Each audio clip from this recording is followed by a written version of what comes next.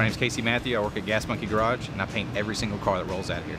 I've been in this business my whole life. My dad owned a paint and body shop, and I painted my first car when I was about 13, 14, somewhere in there, and really got into the more restoration side of it instead of collision. I really enjoy taking a car that's a piece of junk and turning it into something beautiful for somebody.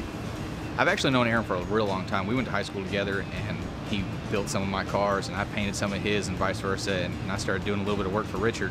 They wanted to bring a painter in for the TV show. They called me, and here I am. We do so many cars so quick, so you don't get burned out and bored with one. If you stretch it out for a long time, you you almost lose interest in it if you're not staying constant on it. And as fast as we do it, I get to paint a lot of cars, and I get to see a whole lot of cool cars. My first SATA gun was a 2000, and then later on I upgraded to a 3000, and then just recently got some 4000s.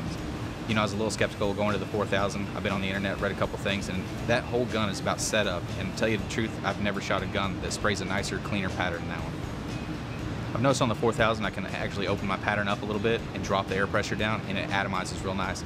So that's nice in a whole lot of applications and I don't know to tell you the truth it just sprays a lot better than the rest of them. So if you got a 4000 read the manual, read some books, whatever you got to do to set it up right. It's an awesome gun. If you want a gun that you can pick up and it pretty much paints the car for you, you need to stick with a 4000. I'm really looking forward to one day just being able to open my shop back up full time and I want to restore cars. It's my passion.